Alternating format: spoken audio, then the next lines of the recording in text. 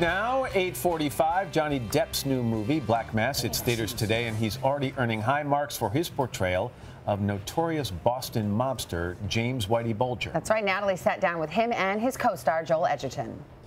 This is, as I understand, the first time you two have worked together on film, right? And it will be the last. Yeah. yeah, it was terrible. I can help you, Jimmy, and you can help me. You play John Connolly, who, as the FBI agent, became so crucial to sort of creating what Whitey ended up becoming. In our version of the story, a kind of a, a telling of that tale of, of Jimmy having saved John from a bullying incident, and so that that relationship strangely continued, I think, into an adult life where, where John had a, a, a bit of a pinch of worship or adoration uh, for, for Jimmy. If nobody sees it, it didn't happen. Johnny, for you, I mean, the physical transformation is unreal.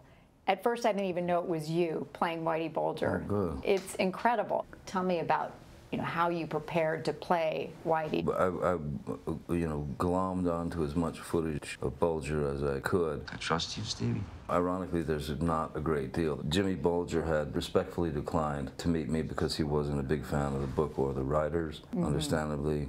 What really helps you find that character mm-hmm. is when you get into the ring with other actors. So when Joel and I were in scenes, he was absolutely John Connolly, you know, on the money, which pushed me to, to, to, to maintain that Whitey or to push Whitey up, up a step. Mm-hmm. Thank you. You're welcome.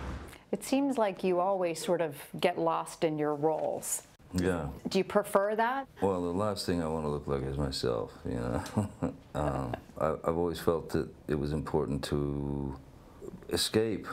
I always figured if I just did the same thing over and over, I'd not only bore myself, but I'd bore the audience, you know. When did you get out of Alcatraz? Oh, uh, that's nearly 10 years ago. Well, it's wonderful to have you back in the neighborhood. Did you guys have a lot of fun on set too, Joel? You know, it's kind of the scene where we meet in the alleyway.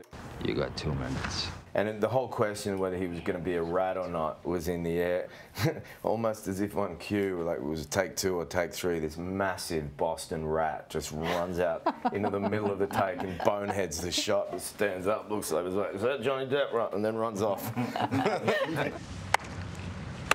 At a certain point, you do the scene a few times. Once you kind of gone through the thing a certain amount of times and you feel like you've gotten it, we would just go psychotically off page.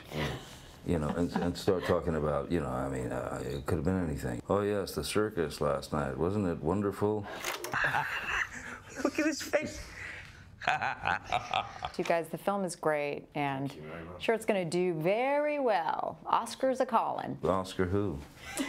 Just Oscar this, Mayer. There's this little Oscar Mayer? golden dude named Oscar. Oh, you're talking about a statue?